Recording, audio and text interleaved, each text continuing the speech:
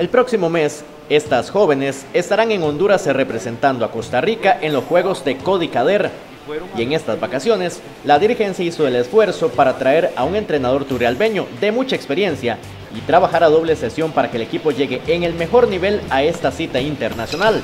El voleibol es un deporte que se juega por error, o sea, mejor técnica tenga usted y mejor defensa y mejor fundamentos en todo lo que se pueda, eh, lógico usted va a jugar mejor. Y las niñas este, tienen que aprovechar estas vacaciones, puesto que van a un evento donde tienen que ir bien preparadas. Y entonces eh, aprovechando el tiempo mío eh, hicimos doble sesión, estamos entrenando entre 6 y 7 horas diarias, por lo menos en 5 días. Y, yo creo que esos esas, eh, si usted lo saca por 5, por 4, ah, son 20 horas mínimo que vamos a entrenar esta semana, cosa que, se, que usualmente un equipo lo entrena aquí en un mes.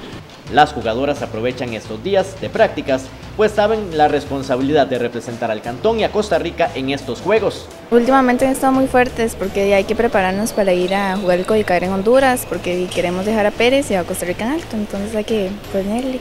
Estos entrenamientos para nosotros son muy provechosos porque usualmente no entrenamos tan seguido y tan fuerte y son muy diferentes para todas nosotras y nos van a ayudar demasiado para poder lograr nuestros objetivos que vienen.